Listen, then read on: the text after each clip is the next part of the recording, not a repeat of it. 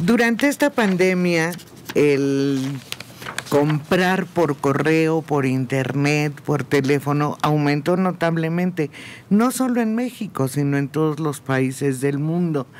Y claro que se compraba de todo, desde el súper, desde pedir a la tienda de la esquina y también conforme fueron pasando las semanas, pues las necesidades iban aumentando, había que comprar algo de ropa, había que comprar algún elemento para la casa, algún aparato electrónico, algún electrodoméstico, cosas así, pero lo que se llevó el primer lugar en las ventas por teléfono, por internet, fueron los cosméticos. Los cosméticos y la moda, toda la ropa de vestir, fue lo que dispararon las compras por internet y por otros medios digitales.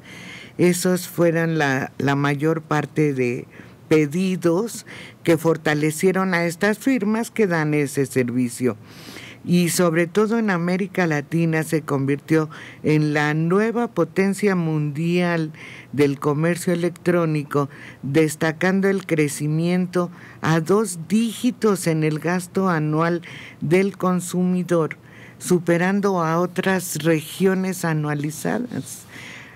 América Latina en el primer lugar de compras, que desde luego aquí fue notable, ¿no? Donde quiera veíamos camionetas con los logotipos de las principales empresas que venden de todo, desde una cremita hasta lo más complicado que se nos pueda ocurrir, ellos lo entregan a domicilio.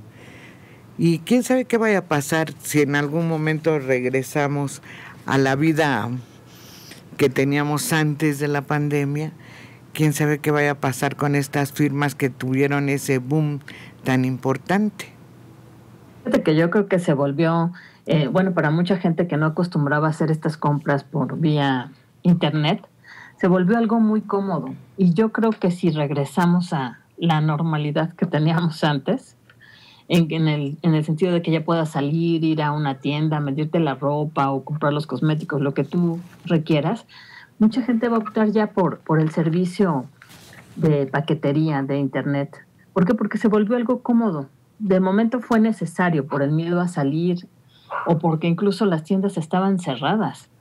Pero ahorita que, más bien ahora que regrese el tiempo y tengamos las condiciones parecidas a las que teníamos antes, te apuesto que muchas personas eh, optarán por esa facilidad, esa comodidad, para que ya no vayas a la tienda y, sabes que te pueden llegar eh, los artículos en muy buenas condiciones porque vienen muy bien envueltos, llegan a tiempo.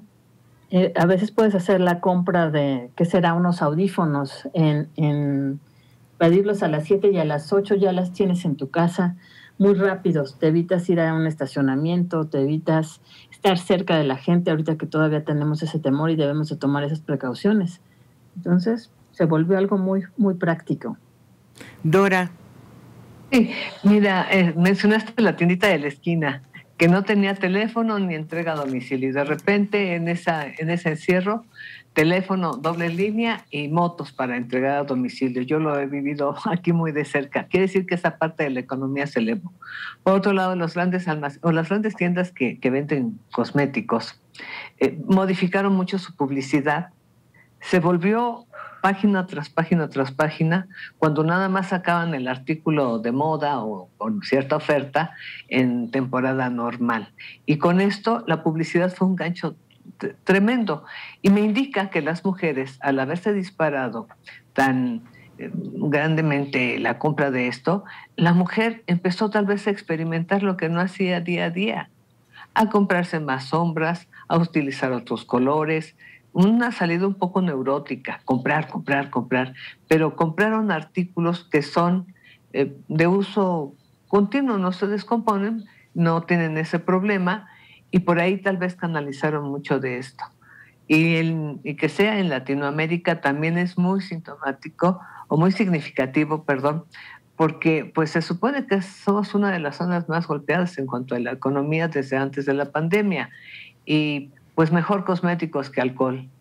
Creo que fue una buena decisión en ese sentido y tal vez mientras los señores compraban otro tipo de artículos, la mujer se fue por el lado de, de los cosméticos para estar en casa, porque al final del día pues muchas se, se quedaron a hacer trabajo en casa, pero valió la pena. Mario. Las en, en, el mercado tenían servicio a domicilio. Uh-huh. sí. Mojarras fritas. Sí, algunos mercados eh, dieron ese servicio. Una persona, tú le dabas la lista, le decías, esto lo compras con Lupita, la de la fruta, y te lo daban con tus marchantes. Todo, todo estaba organizado ya para continuar en el encierro.